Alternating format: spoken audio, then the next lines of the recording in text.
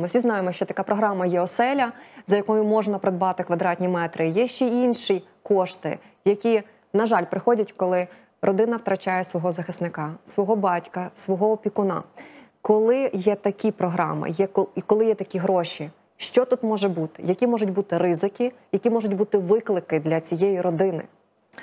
Е, Якщо ми- Непроста тема, але мусимо розповісти. Ем, Якщо ми говоримо про фінансування членів родин е, загиблих військовослужбовців, там є е, декілька моментів, і фактично ризиків для е, сімей цих.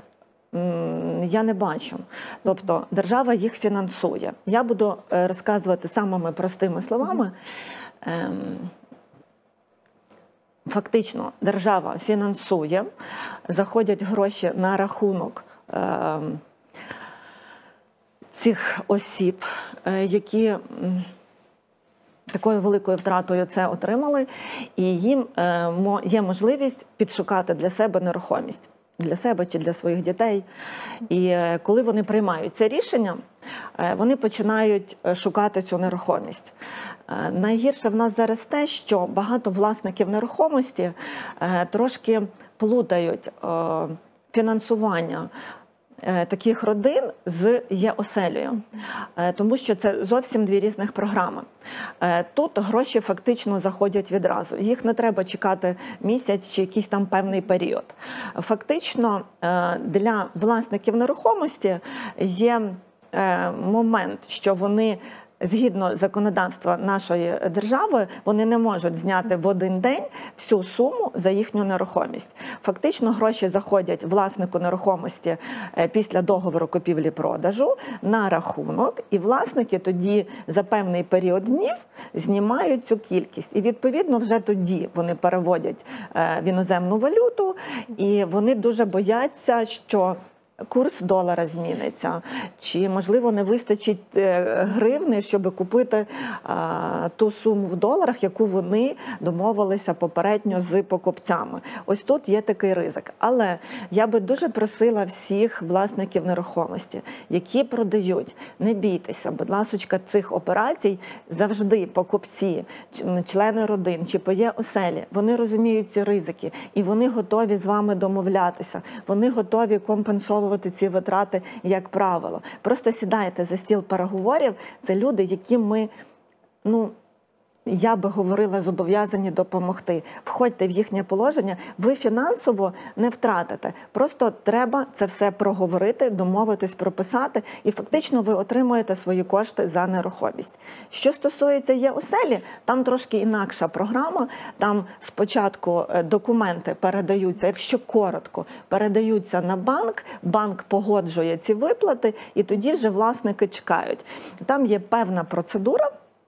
Е, коли відбувається договір купівлі-продажу, а тоді вже зараховуються кошти власнику нерухомості. Можливо, це відбудеться на протязі одного дня, в той же день, коли відбувається угода, але фактично банки проговорюють, що це може бути на протязі одного, двох, трьох робочих днів.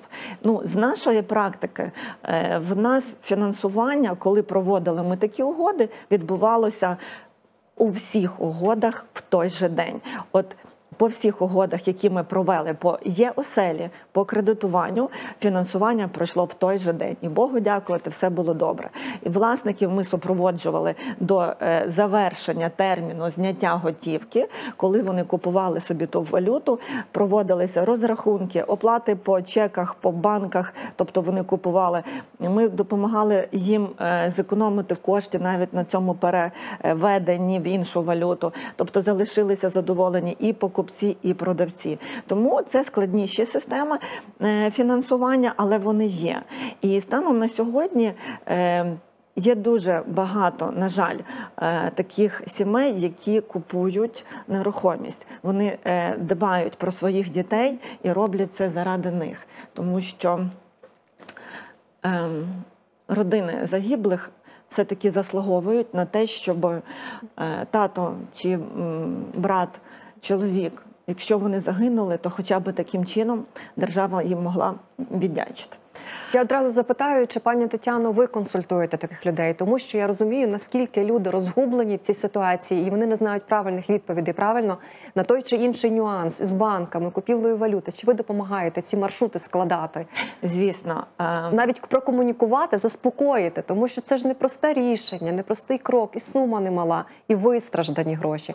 Чи у вас були вже історії спілкування? Е, Звісно, ем, ми допомагаємо ем, сім'ям е, загиблих. е, Ми допомагаємо е, не тільки в супроводі купівлі, навіть консультую по інших містах. Хто мене знає по передачі Ріалто радить, я ввечері всіх консультую за донат на ЗСУ, але де є дружини, де є матері, в нас є фонд, з яким я вже тісніше спіл- спілкуюся, спілкуюся щодо. Um,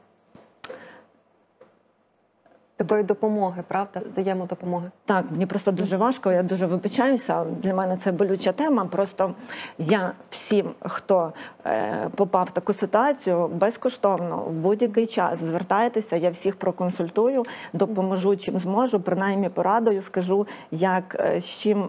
З якими документами ви можете зіткнутися? Якщо якісь виникають проблеми, теж дзвоніть, пишіть, консультую е, без проблем і безкоштовно. Якщо я десь не відповім, пишіть, я обов'язково ввечері або вранці це перечитаю і відпишу чи відзвоню. Шукаємо Тетяну Кравець у Фейсбуці, правильно, і пишемо свої запитання.